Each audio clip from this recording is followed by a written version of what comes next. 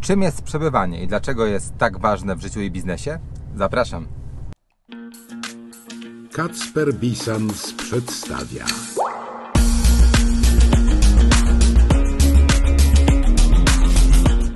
Smart Life. Kreatywny styl życia w praktyce. Dzień dobry, dzień dobry! Bardzo nie lubię takich uproszczeń i takich pytań czasem, gdzie, które padają w stosunku do na przykład Maćka albo do, do mnie, typu wymień trzy składniki sukcesu albo trzy najważniejsze cechy, jakie są potrzebne przedsiębiorcy. Takich rzeczy generalnie nie ma, ale jeżeli miałbym znaleźć jedną rzecz, która bardzo, bardzo ułatwia, ona nie jest niezbędna.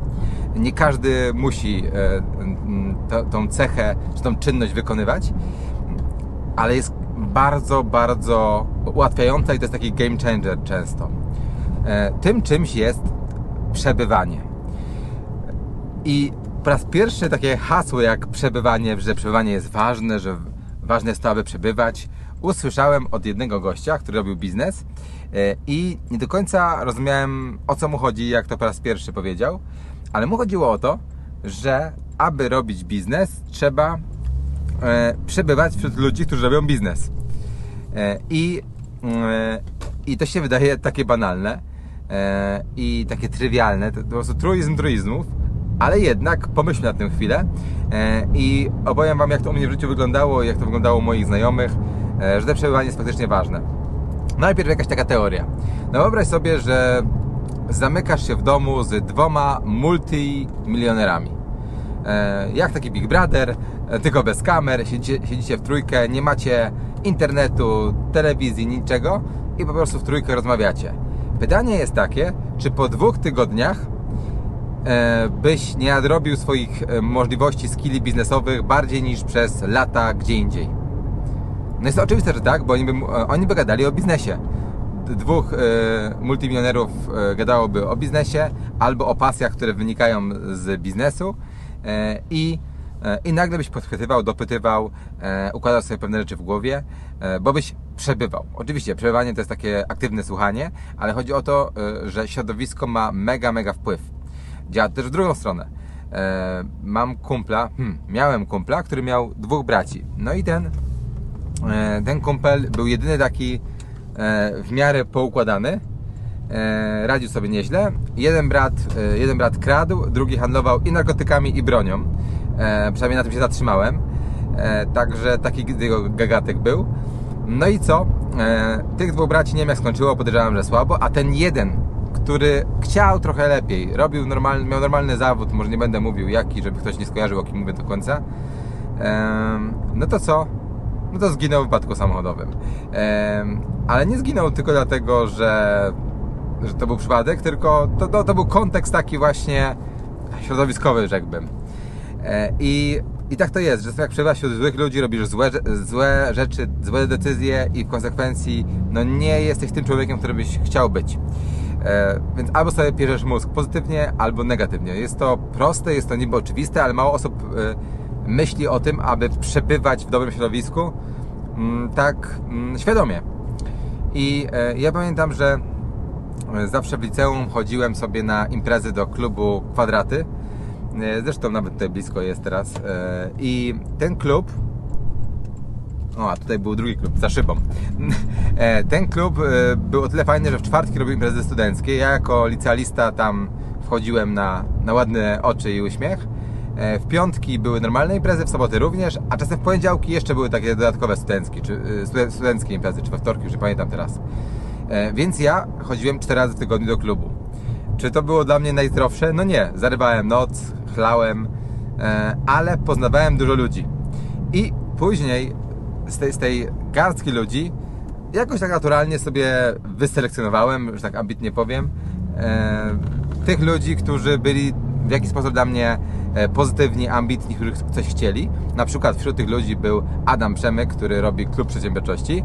E, Adam był zawsze takim jesmenem, takim gościem uśmiechniętym, pozytywnym, e, więc ja z nim przebywałem.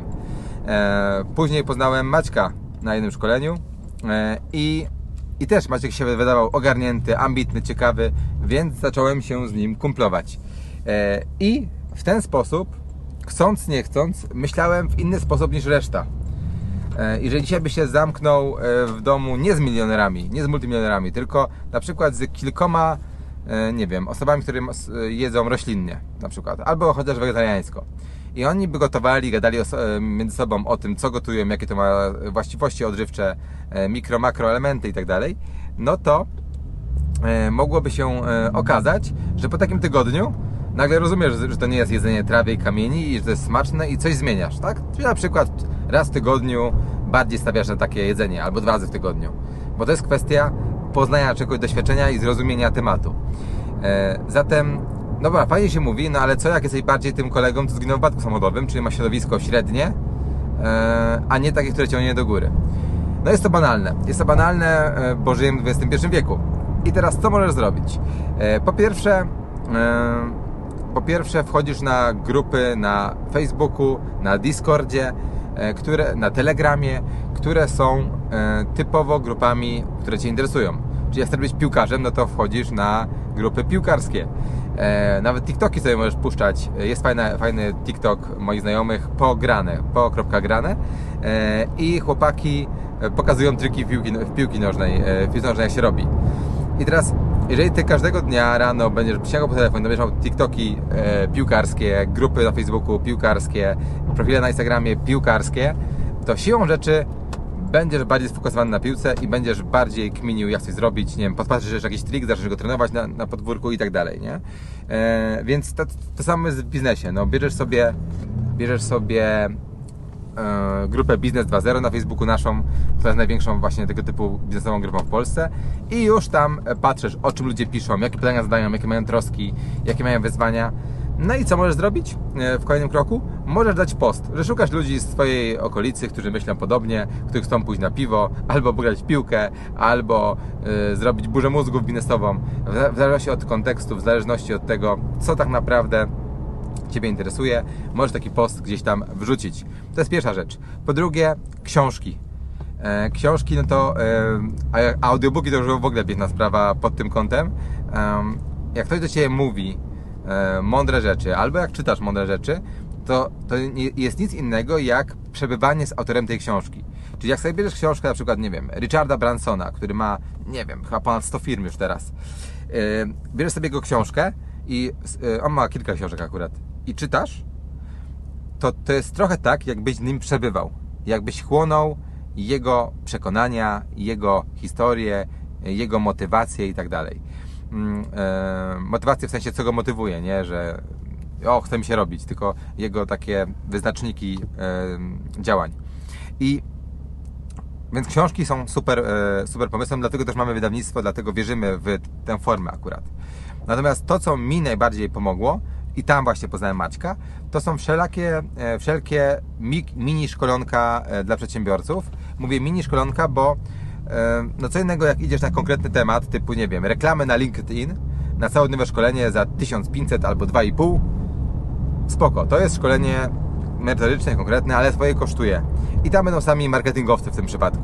Natomiast jest wiele inicjatyw, jak na przykład Klub Przedsiębiorczości. Swego czasu było, była konferencja Myśleć jak milionerzy, na której ja poznałem Maćka Wieczorka właśnie. To z kolei Asbiro, e, Asbiro e, organizuje. E, Asbiro.pl, zapraszam, można sobie zobaczyć też.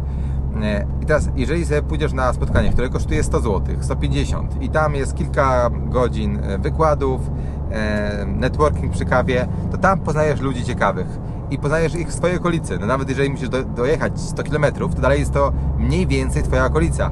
Ha! Być może nawet jest tak, że, ktoś doje, że ty, ty dojeżdżasz 100 km i ktoś też. I okaże się, że spotkasz tam Twojego sąsiada, który robi fajne rzeczy, abyś go normalnie nie poznał w taki sposób. Więc spotkania na, na żywo są świetną formą, e, aby sobie e, mm, aby sobie zorganizować, że tak powiem, nowych znajomych, nowych przyjaciół może z czasem. E, Niektórzy poznają w ten sposób e, e, męża, żonę, e, także jak najbardziej też się da.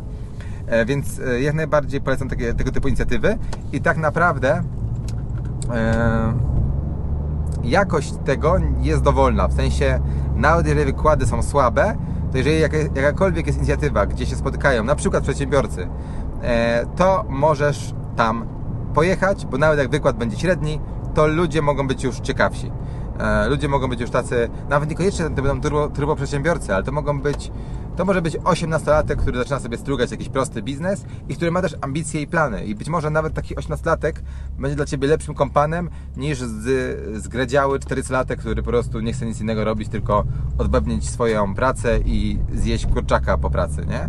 Więc, yy, więc naprawdę takie spotkania są super. Potem kolejnym levelem są spotkania większe, takie masowe. Na przykład my robimy teraz konferencję Biznes 2.0, to jest konferencja charytatywna, czyli cały zysk dajemy na cel charytatywny. Konferencja biznes2.0.pl Konferencja Biznes 2.0 pisana razem.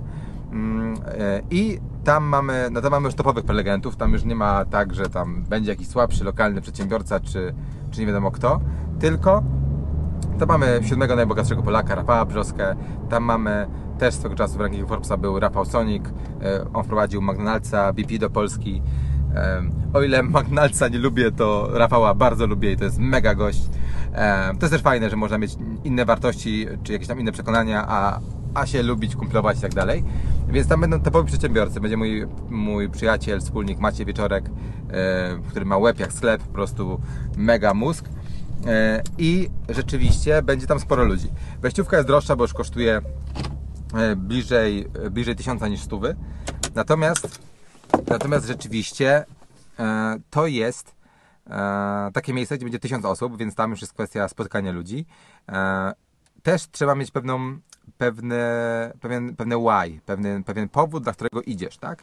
Czyli nie idziesz po to, żeby coś sprzedać na przykład, chyba że idziesz, to, to spoko, ale jak chcesz poznać ludzi, to po prostu przychodzisz i mówisz, słuchaj, ja robię to, to i to i szukam ludzi, którzy myślą podobnie, którzy chcą czasem pomóc żyć wspólnie, pokminić, e, którzy są wspólnie e, swoje biznesy na przykład wspierać e, i bardzo szybko w ten sposób, jeżeli będziesz to wprost mówił, czego oczekujesz, szybko znajdziesz osoby, które e, mają podobne e, troski, podobne cele, plany i sobie szybko razem zrobicie takie połączenie.